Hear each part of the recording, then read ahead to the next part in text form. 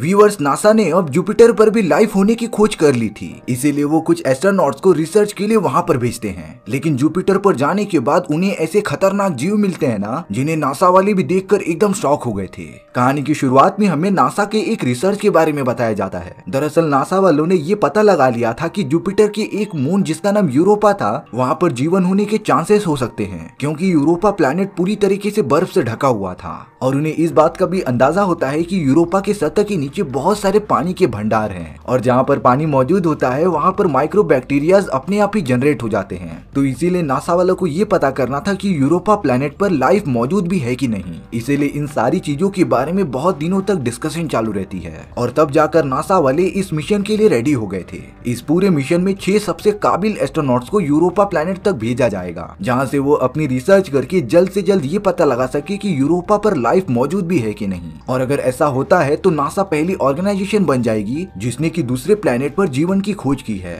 अब वो छह एस्ट्रोनॉट स्पेसशिप में बैठकर जल्द से जल्द मिशन के लिए निकल पड़ते हैं। उनके मिशन का कैप्टन विलियम नाम का एक एस्ट्रोनॉट होता है। वो लोग तो इस मिशन पर आकर बहुत ही ज़्यादा खुश होते हैं। इसी तरीके से उन्हें अपना मिशन कंटिन्यू करते हुए एक साल बीत जाता है। और अब वो सब अर्थ से बहुत ही ज़्यादा दूर तक आ गए थे। यहाँ उन्हें कुछ ही महीने बाकी होते हैं जुपिटर के मून यूरोपा तक पहुँचने के लिए। लेकिन एक साल बहुत ही लंबा समय होता है। इतना समय बिताने के बाद सभी को एंजाइटी अटैक्स आने लगे थे। लेकिन तभी भी सभी लोग कंट्रोल करके आगे बढ़ते रहते हैं। अब भारी मात्रा में सन की हानिकारक सोलर फ्लेयर्स निकलने की वजह से उनके स्पेसशिप का मेन सिस्टम काम करना बंद कर देता है। हालाँकि कैप्टन विलियम और बाकी एस्ट्रोनॉट ये फिगर आउट कर लेते हैं कि स्पेसशिप में गड़बड़ कहाँ पर हुई है। प्रॉब्लम को ठीक करने के लिए एंड्री और जेम्स नाम के दो एस्ट्रोनॉट स्पेसशिप के बाहर जाते हैं। लेकिन उन्हें थोड़ा जल्दी काम करना पड़ेगा, क्योंकि मेन सिस्टम खराब होने की वजह से ऑक्सीजन बहुत ही कम बची थी। इसीलिए अब एंड्री और जेम्स बिना टाइम वेस्ट किए मेन सिस्टम के प्रॉब्लम को ठीक करने लग जाते हैं। हालाँकि उन दोनों ने प्रॉब्लम बहुत ही जल्दी सॉल्व कर ली थी।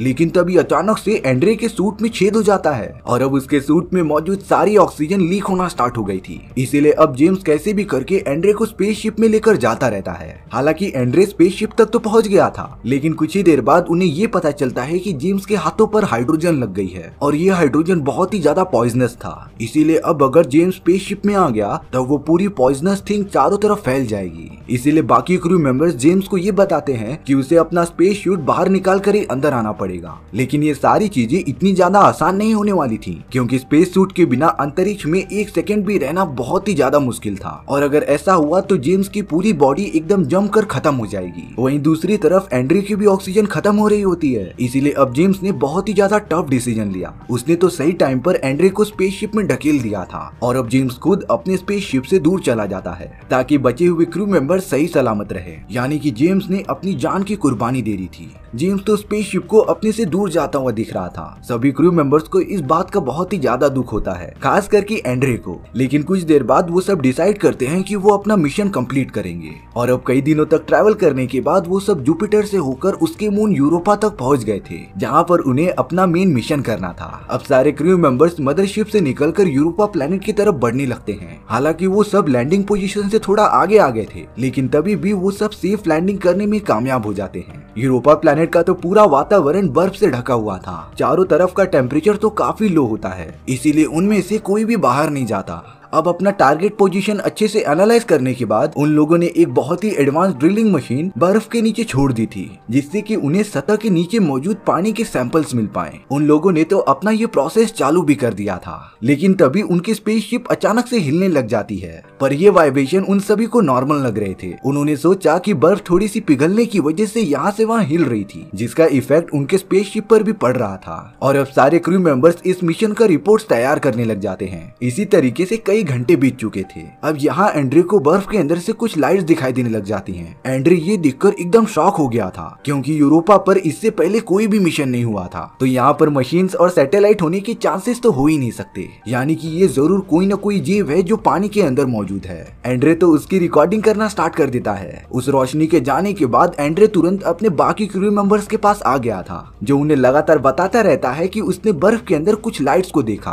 हालाँकि एंड्रे सबूत के तौर पर उन सभी को रिकॉर्डिंग्स दिखा रहा था, लेकिन उस टाइम पर बाहर काफ़ी ज़्यादा रेडिएशन फैली थी, जिससे कि रिकॉर्डिंग में उन लाइट्स की फुटेजेस आई नहीं। और अब सभी को लग रहा था कि एंड्रे को भ्रम हुआ है। वो सब एंड्रे की बातों पर ध्यान ना दे के अपना अपना काम स्टार्ट कर देते हैं। लेकिन एंड्रे ने जो देखा, वो गलत भी नहीं था। इसीलिए एंड्रे को तो नींद ही नहीं आती। वो लगातार बाहर की बर्फ़ की तरफ़ नज़र रखता रहता है। कुछ देर बाद क्रू मेंबर्स को ये पता चल गया था कि उनकी ड्रिल मशीन जो उन्होंने बर्फ़ के अंदर भेजी थी, वो बर्फ़ की सतह को पार करके अंदर के पानी तक पहुँच गई है। इस बात से सभी लोग थोड़ा सा खुश हो जाते हैं। वो लोग तो ड्रिलिंग मशीन में लगे कैमरे की मदद से सारी चीज़ें दिख रहे थे। वहाँ पर तो एकदम प्योर पानी मौजूद था। वो सब पानी का सैंपल्स भी कलेक्ट करने लग जाते हैं। पर तभी उस जगह पर कुछ अजीब तरीके की लाइट्स आने लगी थी। देखने के बाद उन्हें पता चला कि ये लाइट्स ऊपर से नहीं, बल्कि पानी की गहराई से आ रही हैं। इसीलिए चेक करने के लिए वो सब अपनी ड्रिलिंग मशीन को और भी अंदर भेजते हैं। लेकिन तभी थोड़ी देर बाद ही उनके ड्रिलिंग मशीन के सामने एक चमकती हुई चीज़ आ गई थी, जिससे टकराने के बाद ड्रिलिंग मशीन का कनेक्शन टूट जाता है। और अब सभी क्रू मेंबर्स ये नहीं देख सकते थे कि अंदर क्या हो रहा है। लेकिन उन्हें कुछ भी करके ये पता तो लगाना पड़ेगा कि उस जगह पर मौजूद क्या है।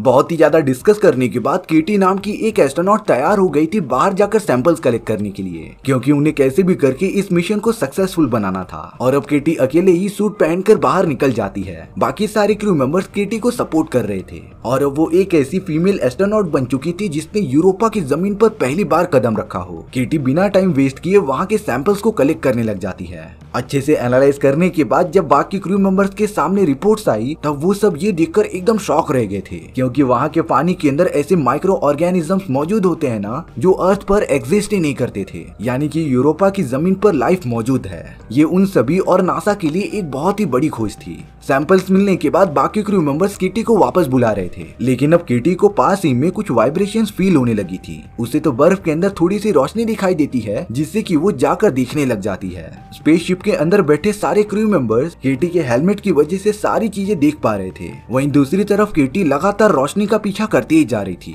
उसने अपनी हेलमेट की लाइट्स बंद कर दी होती है, जिससे कि वो सारी रोशनी काफ़ी अच्छे से दिखे। लेकिन अब वहाँ की पूरी बर्फ़ अचानक से टूट जाती है, जिससे कि केटी लगातार नीचे गिरने लगी थी। केटी थोड़ी देर में ही पानी के अंदर पहुँच जाती है और अब उसका कनेक्शन क्रू मेंबर्स के साथ टूट चुका था। केटी तो लगातार पानी के अंदर गिरती ही चली जा रही थी। देखने से तो ऐसा लग रहा था कि कोई उसे फोर्सफुली खींच रहा है।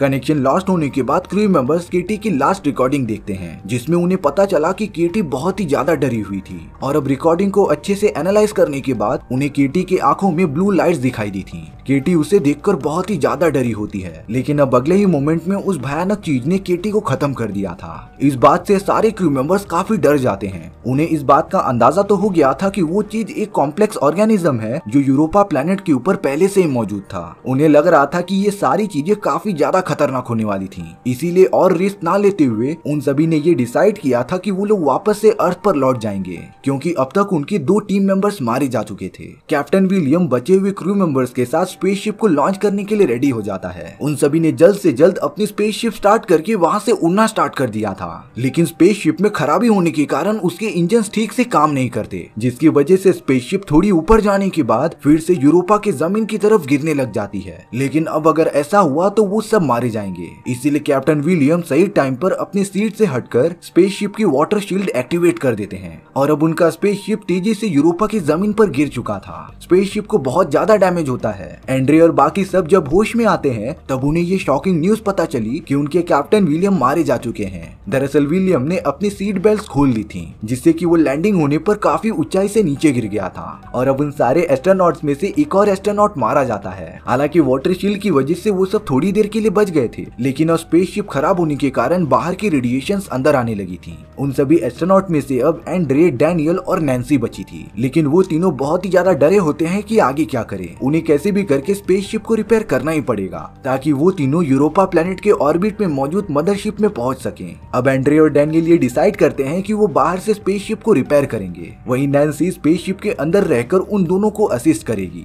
सबसे पहले डैनियल जब शटल को खोलकर बाहर जाता है, तभी उसे वही रोशनी दिखाई देने लगी थी, जिसे केटी ने भी देखा था। और अब उस रोशनी में से कुछ टेंटिकल्स निकलते हैं, जिन्होंने डैनियल को पानी के अंदर खींच लिया था। एंड्रे और नैन्सी ने ये सारी चीज़ें देख ली थी, और अब वो बहुत ही ज़्यादा डर गए थे की आगे क्या करना है। एंड्रे नैन्सी को बता रहा था कि उन्हें अपने स्पेसशिप का कम्युनिकेशन सिस्टम ऑन करना पड़ेगा, ताकि वो इस जगह की सारी रिकॉर्डिंग्स अर्थ पर भेज सके। एंड्रे को इस बात का अंदाज़ा तो हो गया था कि वो सब वापस नहीं जा सकते। एटलीस्ट वो सब अर्थ पर मौजूद नासा वालों को ये मैसेज प्रोवाइड कर सके कि यूरोपा पर लाइफ मौजूद है। शिप का कम्युनिकेशन सिस्टम ऑन करने के लिए सबसे पहले लाइफ सपोर्ट सिस्टम को बंद करना होगा। यानी कि इसका मतलब था कि एंड्रे और नैन्सी को अपनी जान की कुर्बानी देनी पड़ेगी। एंड्रे तुरंत बाहर जाकर कम्युनिकेशन सिस्टम को ऑन करने लग जाता है। हालाँकि उसने सही टाइम पर सब कुछ ठीक कर दिया था, लेकिन अब एंड्रे को भी वही खतरनाक क्रिएचर पानी के अंदर खींचकर मार देता है। अब सारे एस्ट्रोनॉट्स में से सिर्फ़ नैन्सी ही बची थी। नैन्सी तुरंत उस जगह की रिकॉर्डिंग ऑन करके अर्थ पर भेजना स्टार्ट कर देती है। उसने तो जानबूझकर स्पेसशिप का डोर ओपन कर दिया था, जिससे कि अब धीरे धीरे पानी अंदर आना स्टार्ट हो जाता है। ये सारी चीज़ें रिकॉर्ड होकर अर्थ पर ट्रांसफ़र होती जा रही थी। उसी पानी के अंदर नीले कलर की रोशनी आती है, जो और कुछ नहीं, वही खतरनाक क्रिएचर था। और अब उस खतरनाक क्रिएचर ने अपने बड़ी बड़ी टेंटिकल्स निकालकर नैन्सी और पूरे स्पेसशिप को ही अंदर खींच लिया होता है। तभी सारी चीज़ें एकदम से ब्लैंक हो जाती हैं। और अब हमारी कहानी भी यहीं पर खत्म हो गई थी। दरअसल कहानी के अंदर उस पॉसिबिलिटी को बताया गया है कि गैलेक्सी के दूसरे प्लैनेट्स पर भी जीवन मौजूद हो सकता है। और इन सारी चीज़ों से हम इंसान अभी तक अनजान हैं।